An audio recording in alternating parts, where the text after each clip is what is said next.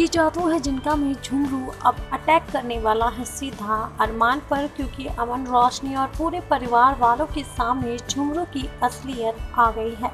जी हाँ recent track में दिखाया गया कि झुमरू के गले में एक लॉकेट होता है और उस लॉकेट के सहारे रेहान और शायरी उस घर तक पहुँच जाते हैं। लेकिन जैसे ही झुमरू को इस बारे में पता चलता है, झुमरू अपने अंदर की शक्तियों से उस घर को जलाकर तबाह कर देता है ताकि एक भी सबूत ना मिल सके क्योंकि झुमरू काले जिन की जगह लेना चाहता है।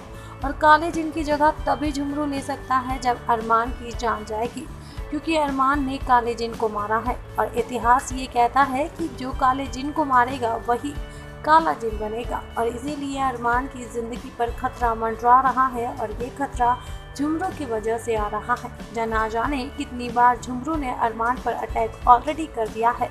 पर अब ताबदी के ज़रिए रोशनी और अमन दोनों ही जान जाएँगे झुमरू के बारे में, जिससे झुमरू अब डायरेक्ट अरमान पर वार करेगा। अब देखना यह है कि अमन, रोशनी, रेहान और शायरी कैसे बचाएँगे अरमान को। फ़िलहाल इतना ही। बाकी के अपडेट जानने के लिए सब्सक्राइब कीजिए हमारा चैनल